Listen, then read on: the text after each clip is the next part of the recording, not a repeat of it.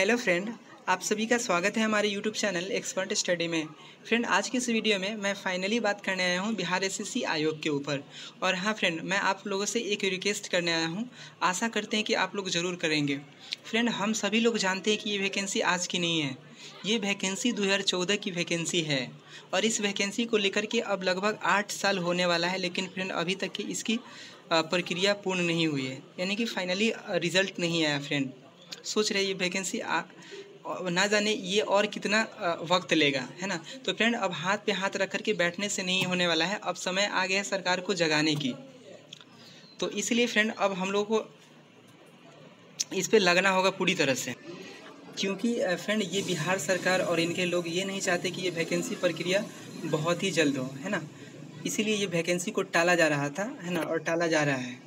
तो friend friend, इस vacancy को ले लेकर के ना जाने कितने अभ्यर्थी तो अपनी पढ़ाई तक के छोड़ दिए हैं और और ना जाने कितने कैंडिडेट ऐसे होंगे जिनका एज क्रिटेरिया ही ख़त्म हो गया होगा अन वैकेंसियों के लेकर के, है ना?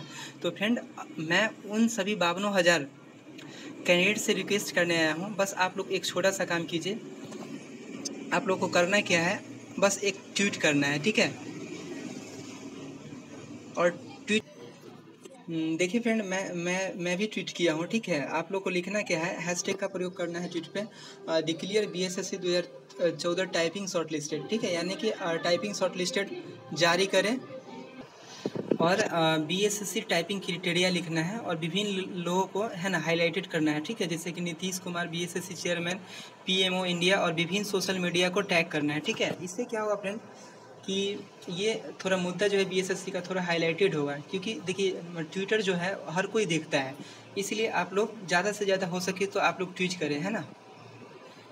देखिए फ्रेंड ये ये लोग भी ट्वीट किए हैं declare B S C typing list और ये Nitish Kumar PMO India B S C chairman और यादव तेजस्वी को, जी को भी ट्वीट किए हैं मतलब टैग किए हैं, ठीक है? और विभिन्न सोशल मीडिया को किए हैं। तो आप लोग भी इसी तरह से ट्वीट करें, है ना? इससे क्या होगा कि फ्रेंड हम लोग के फेवर में कुछ नया निकल करके आएगा, है ना? ताकि ये सरकार जल्दी कुछ इस पर एक्शन ले। नहीं तो फ्रेंड ये वैकेंसी ना जाने कब ये पूरा होगा। देखिए फ्रेंड तो यही मैं आ, कहने आया था आप लोगों से। आशा करता हूँ कि आप लोग ज़रूर इसे पूरा करेंगे। तो फ्रेंड आज के लिए इतना ही रखता हूँ। फिर मिलते हैं आपके साथ नेक्स्ट वीडियो में।